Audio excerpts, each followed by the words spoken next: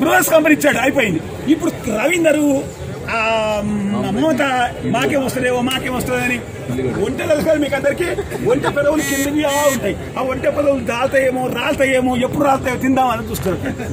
కాబట్టి ఇవాళ ఒంటె పద ఒంటె పదవులకు నక్కాస పెట్టుకుందాను సామెట కాబట్టి ఈ కేవలం లొంగుబాటుతో ఉన్నటువంటి వాళ్ళ పేర్లు కూడా మనం ఉచ్చరించడం అనవసరం. ప్రభుత్వానికి గులాంగిరి చేసేవాళ్ళు. పాలాభిషేకాలు ఎప్పుడన్నా వినవా మనం?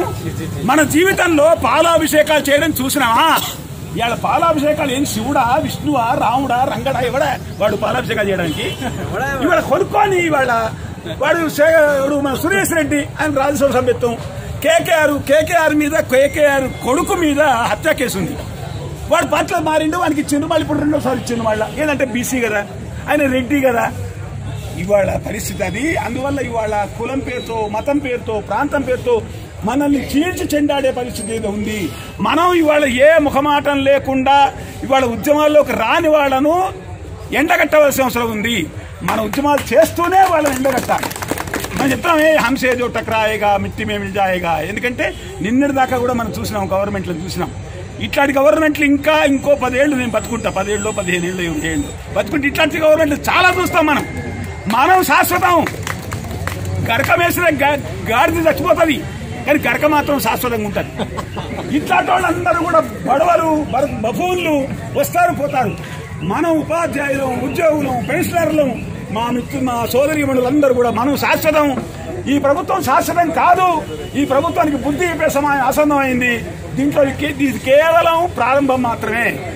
మీరు చాలా ఉత్సాహంగా మనం ఇంటికి తిరిగి వెళ్ళాలి. మరి నెక్స్ట్ కాల్ ఎప్పుడు వస్తుంది? నెక్స్ట్ ఎప్పుడు సార్? మనం ఉద్యమం హైదరాబాద్ ఎప్పుడు? చలో హైదరాబాద్ ఎప్పుడు? జైలు భరో ఎప్పుడు? అని అడిగే స్థితి రావాలి. జైలు అని చాలా మంది చూసినాం.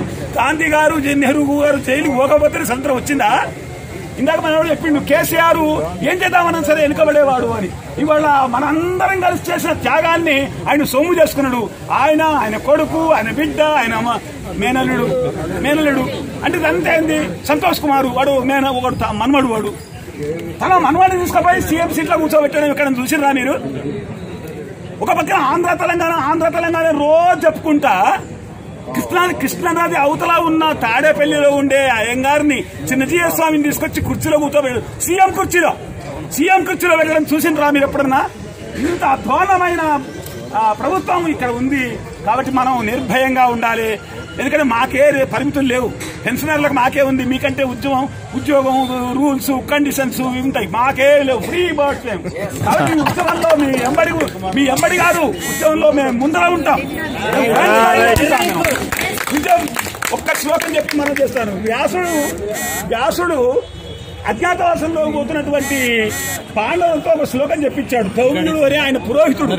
అయ్యా ఇవాళ ప్రభుత్వాలు ఎట్లా ఉన్నాయంటే యవ్వనం ధన సంపత్తి ప్రభుత్వం అవివేకిత. యవ్వనం ఉంది కేటీఆర్ లాంటివాడు యవ్వనం ధన సంపత్తి బ్లాక్ వైట్ చాలా ఉంది. ప్రభుత్వం అధికారం ఉంది. ఎవ్వ అందరూ గులాంగిరి చేయాల్సిన వాళ్ళే మనం తప్ప.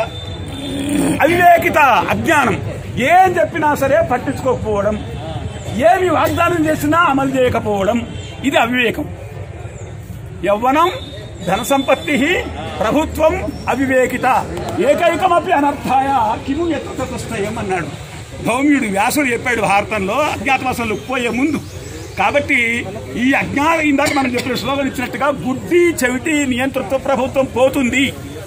అది పోతుంది అంటే టైం పడుతుంది. కానీ ఈలోగానే వాళ్ళ తల వంచి మనం అన్ని సాధించుకుంటాము. హమారా సర్ కటాయింగే మగర్ సర్ ఝుకేంగే నహి. తలకాయ పోయినా పర్వాలేదు. తలకాయ వంచే సమస్య లేదు ఇలాంటి ప్రభుత్వాల ముందర. అది టీడీపీ ప్రభుత్వం చూసాం కాంగ్రెస్ ప్రభుత్వం చూసాం అన్ని ప్రభుత్వం చూసాం ఇవాళ టీఆర్ఎస్ ప్రభుత్వం చూసినాం ఇవాళ ఆయనకు మరణ శాసనం రాయవలసిన అవసరం ఉంది. ఆ దాంట్లో భాగంగా మనం మాట్లాడుకుంటున్నాం మిత్రులారా చాలా ఉత్సాహంగా మీరు ఇంటికి వెళ్ళిపోండి. నెక్స్ట్ కాల్ కోసం నెక్స్ట్ పిలుపు కోసం మనందరం సిద్ధంగా ఉందా నమస్కారం.